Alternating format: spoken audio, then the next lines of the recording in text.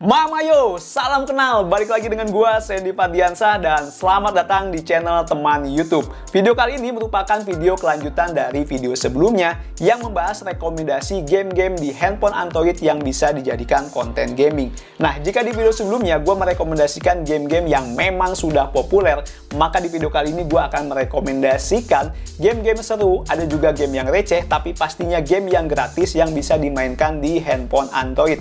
Dan tentu saja game ini bisa dijadikan konten gaming untuk channel YouTube teman-teman semua. Dan untuk pembahasan kali ini, gue juga akan menggunakan suara dari aplikasi VoiceOver yang baru saja gue coba. Jadi mungkin nanti nuansanya agak sedikit berbeda. Oke, langsung aja. Ini dia rekomendasi game-game seru di handphone Android yang bisa dijadikan konten gaming untuk channel YouTube teman-teman semua. Tapi sebelum pembahasan dimulai, kita bumper dulu.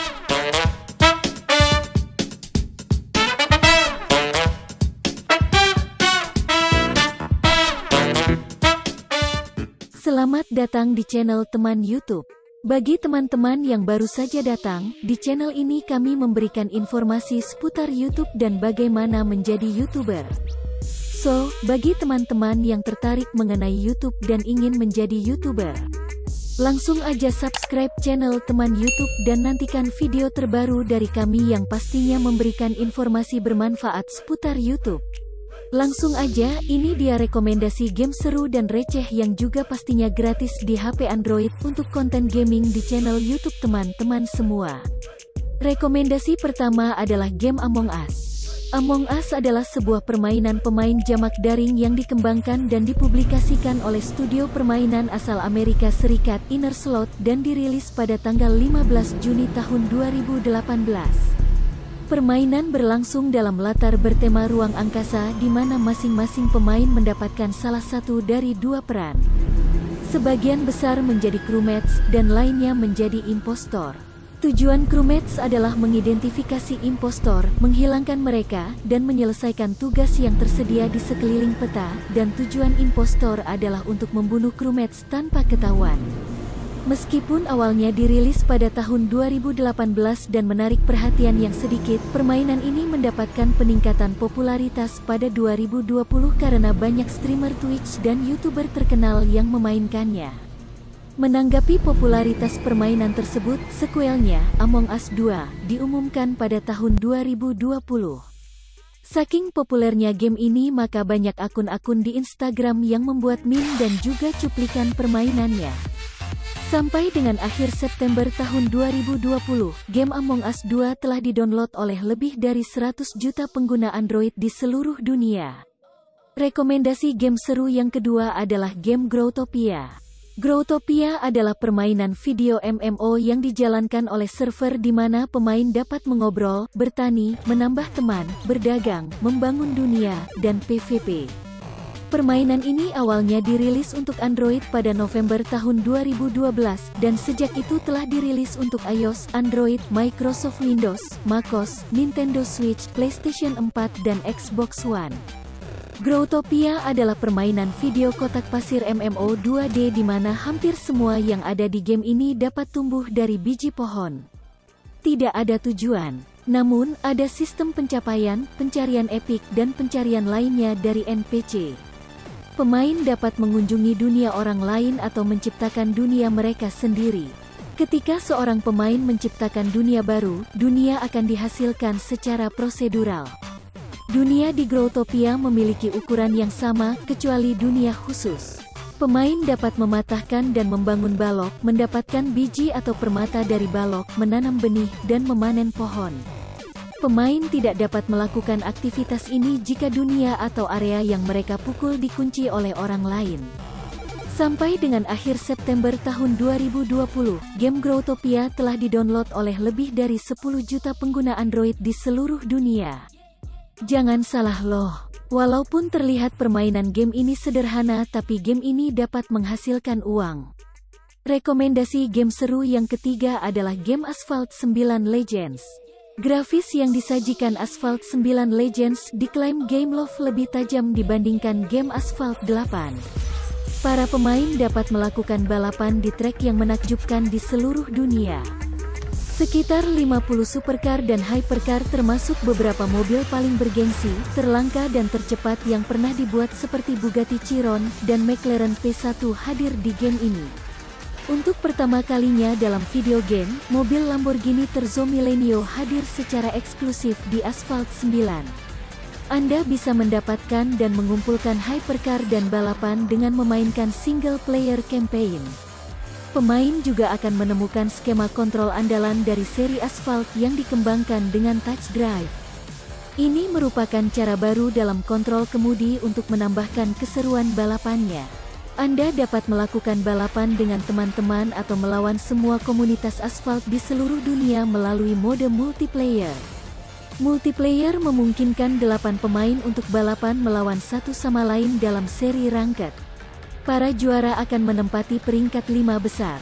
Game Asphalt 9 Legends telah didownload oleh lebih dari 50 juta pengguna Android di seluruh dunia. Buat kamu yang suka dengan game balap mobil, sangat cocok nih memilih game Asphalt 9 sebagai konten YouTube kamu. Rekomendasi game seru yang keempat adalah game Pokemon Master. Game keluaran Nintendo ini memiliki gameplay menarik untuk dieksplor.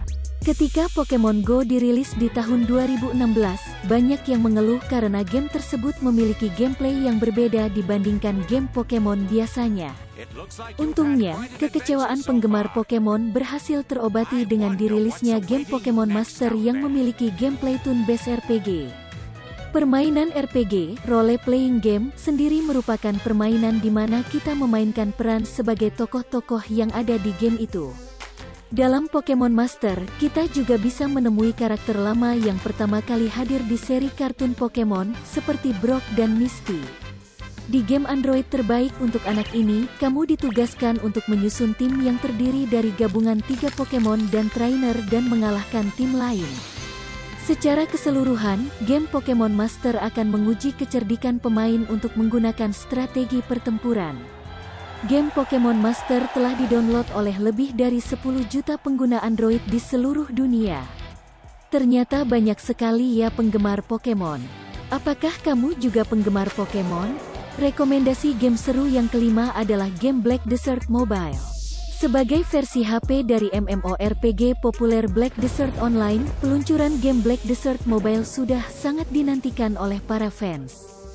Untungnya, penantian mereka nggak sia-sia karena game ini datang dengan grafis yang sangat memukau dan fitur karakter kreation yang sangat komprehensif. Perlu dicatat, untuk memainkan game ini hingga level tertinggi membutuhkan komitmen waktu yang sangat besar. Jadi kalian jangan sampai kecanduan ya. Black Desert Mobile adalah jawaban atas rasa jenuh kalian akan sistem dan juga animasi tarung MMORPG mobile yang begitu-gitu aja. Semuanya terasa segar, mulai dari kombinasi serangan yang cepat, animasi yang fantastis, hingga sistem upgrade yang membuat serangan jadi bervariasi. Dari animasi dan motion, mekanisme pergerakan karakter akan sangat luwes nan gemulai. Contohnya gerakan tangan karakter yang tampak hidup layaknya gerakan tangan manusia pada umumnya. Tampilan 3D yang diusung pun membuat efek dari skill tiap karakter makin keren. Bahkan, detail pada latar juga membuat grafis makin fantastis. Misalkan riak pada air yang terlihat menyesuaikan dengan gerakan karakter. Rumput yang ikut bergoyang dan enggak diam di tempat pun menambah kesempurnaan pada detail. Kualitas grafis yang maksimal tentu saja dapat kita mainkan dengan perangkat Android yang mumpuni. Menurut sang developer Pearl Abyss, Black Desert Mobile setidaknya bisa dimainkan di Samsung Galaxy S5. Berdasarkan ungkapan tersebut, maka spesifikasi minimum untuk game ini, yaitu prosesor Qualcomm Snapdragon 801, kemudian RAM 2GB, GPU Adreno 330, dan storage 3GB. Bisa dikatakan spesifikasi tersebut cukup ringan untuk smartphone zaman sekarang. Selain itu, Black Desert Mobile juga hadir dalam bahasa Indonesia. Buat kamu yang kurang mengerti bahasa Inggris tentunya akan sangat tertolong. Sampai dengan September tahun 2020, game Black Desert Mobile telah didownload oleh lebih dari 5 juta pengguna Android di seluruh dunia. Rekomendasi game seru yang keenam adalah game Super Mesia Champions. Super Mesia Champions adalah game yang menggabungkan elemen game Battle Royale dengan game perang robot seperti War Robots. Nilai jual lainnya dari game Android ini adalah grafis anime yang tentu menarik dimainkan untuk kamu pecinta anime Jepang.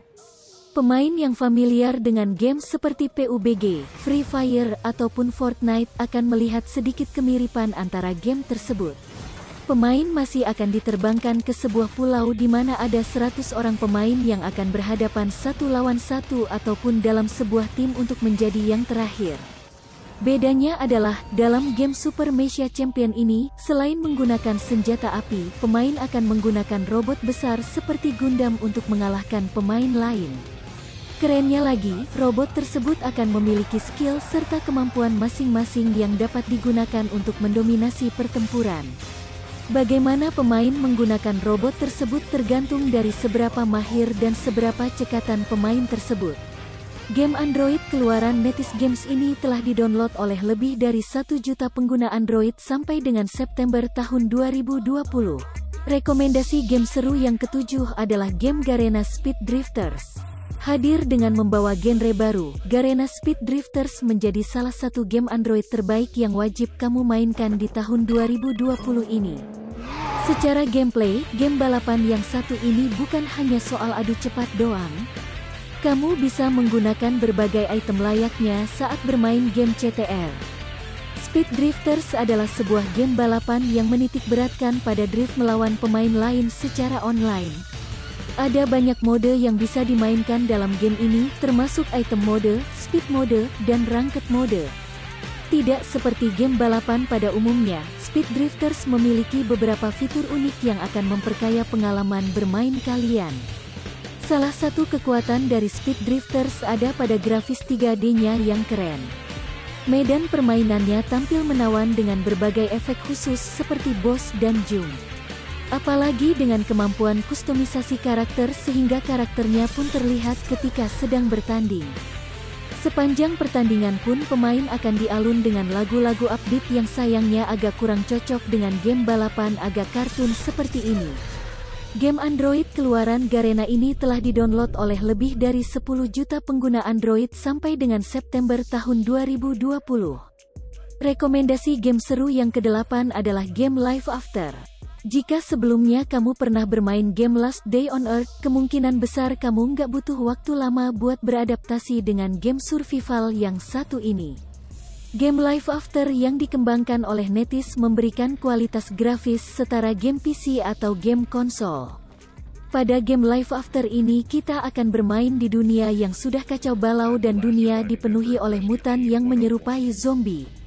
Jadi musuh utama kita adalah manusia yang telah menjadi zombie. Awalnya kita akan membuat karakter terlebih dahulu dan dalam pemilihan karakter ini kita bebas memilih gender laki-laki atau perempuan. Kita juga bisa mengedit tampilan seperti mata, rambut, mulut dan lain sebagainya. Tidak ketinggalan kita akan mendapatkan pet berupa hewan anjing yang akan menjadi teman kita satu-satunya di dunia yang kacau tersebut. Lalu memasuki skene di mana kita berada di atas mobil pick-up dan mulai dikejar oleh zombie yang ingin menyerang kita. Untuk gameplay sendiri kita ada di dunia yang isinya manusia biasa yaitu para survivor dan juga manusia yang sudah terinfeksi alias mutan. Kita harus bertahan hidup untuk melawan mutan. Hal paling menarik dari gameplaynya adalah kita bisa membangun rumah untuk bertahan hidup. Kita juga harus mencari sendiri bahan-bahan untuk membangun rumah. Game ini sangat cocok bagi kalian yang suka sekali dengan game mode survival dan juga FPS. Karena ketika memainkan game ini sangat mirip dengan game PUBG Mobile yang erat kaitannya dengan menembak. Selain itu bagi kalian yang suka dengan game yang ada kaitannya dengan membangun rumah, maka sangat cocok sekali untuk memainkan game Life After ini. Game Life After memiliki banyak pemain di Android. Untuk saat ini game ini sudah didownload oleh lebih dari 10 juta pengguna Android. Rekomendasi game seru yang kesembilan adalah game Worms Zone. Saat ini, banyak banget pilihan game cacing viral yang muncul akibat kesuksesan Slither.io. Tapi kami jamin gak ada yang bisa menyaingi Worms Zone. Posisi pertama game populer Android pada periode Februari tahun 2020 ternyata tak diisi dengan game dengan genre MOBA, Battle Royale atau bahkan racing. Membawa tipe arcade dengan gameplay sederhana, Worms Zone jadi pemuncak game populer di Android pada Februari tahun 2020. Gilanya lagi game cacing ini sudah didownload oleh lebih dari 100 juta pengguna Android. Hanya berukuran 26 MB. Game yang tak terlalu banyak membutuhkan memori besar ini sangat adiktif. Mengingatkan kita pada game klasik Snake yang pernah booming di tahun 90-an dengan layar monokrom atau layar berwarna. Zone menawarkan sensasi tersendiri bagi gamer kekinian. Jika di game Snake, karakter utama ular akan mati ketika menabrak tubuhnya sendiri, Worms Zone menawarkan gameplay yang berbeda.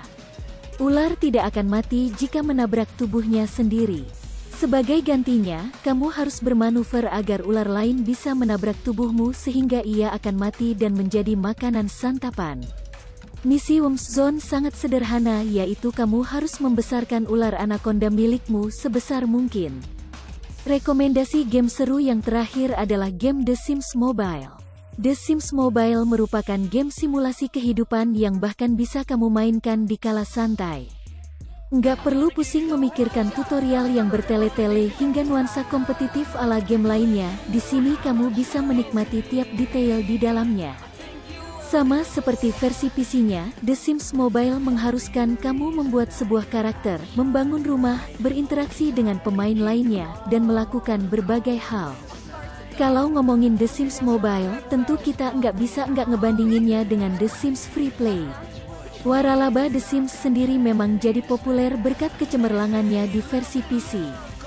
Nah, berbeda dengan The Sims Free Play, The Sims Mobile nawarin pengalaman main yang lebih mendekati versi PC. Tantangan utama yang disajin The Sims Mobile adalah hadirnya pilihan stories. Stories ini mencakup tiga aktivitas utama yang harus dijalanin oleh Sims kamu, yaitu relasi, karir, dan hobi. Setiap kategori punya ragam stories yang berbeda-beda dan punya tahapan masing-masing. Stories inilah yang mengharuskan kamu menempuh misi demi misi supaya kamu bisa ningkatin level permainan dan mendapatkan berbagai rewards. Bisa dibilang, The Sims Mobile punya grafis yang memukau. Walau statusnya adalah game mobile, grafisnya menyerupai The Sims 4 yang notabene adalah seri terbaru waralaba The Sims buat PC. Bahkan, lagi-lagi berbeda dibandingin The Sims Free Play yang grafisnya terlihat kaku. Setiap pergerakan karakter dalam The Sims Mobile terlihat halus dan alami. The Sims Mobile bisa kamu unduh secara gratis. Namun, seperti game-game mobile pada umumnya ada beberapa kebutuhan yang mengharuskan kamu buat membeli diamonds atau heirlooms. Game ini juga memungkinkan kamu buat berinteraksi dengan para pemain lain lewat fitur party dan stiker. Sampai dengan saat ini game The Sims Mobile ini telah diunduh oleh lebih dari 50 juta pengguna Android. Itu dia 10 rekomendasi game di handphone Android yang sangat seru untuk dimainkan. Pastinya game-game tersebut bisa dijadikan konten untuk channel YouTube teman-teman semua. So, jangan ragu lagi, jangan bingung lagi, pilih aja salah satu game yang gue sebutkan di atas dan jadikan konten untuk channel YouTube teman-teman semua. Cukup sekian untuk video kali ini. Sekali lagi bagi teman-teman yang belum subscribe, jangan lupa untuk subscribe channel teman YouTube karena subscribe itu gratis dan pastinya nantikan video terbaru dari gue yang akan memberikan tips dan trik seputar YouTube. Oke, cukup sekian untuk video kali ini. Jangan lupa untuk memberikan like, komen, dan share video ini jika dirasa bermanfaat. Sampai jumpa dan salam sukses selalu.